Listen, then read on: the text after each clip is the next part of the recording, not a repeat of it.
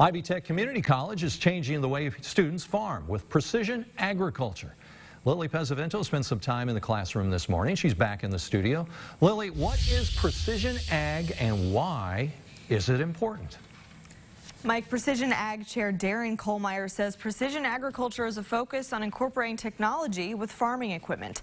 The world we live in is changing, and with the help of technology and education, so is farming.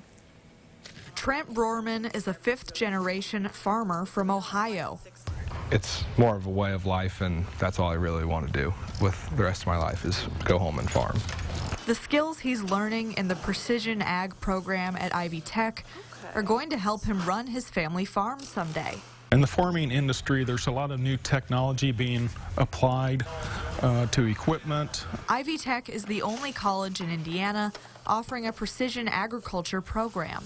And the hands-on two-year program is helping farmers across the state and the U.S. increase product yields.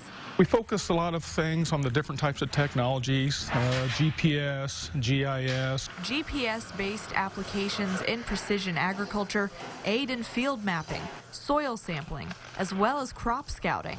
Helps decide with financial decisions what to plant, when to plant it. Um, where we're going to make the highest yields at. The program is just over two years old, and so far, all 15 graduates have jobs, meaning the demand for precision agriculture graduates is high.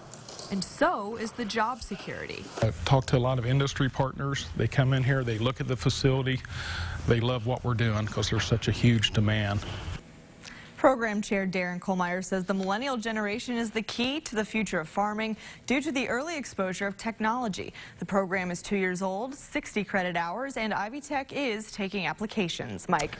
All right, thank you, Lily. Scholarships are available to students. Also, officials say you don't have to have an agricultural background to succeed in precision agriculture.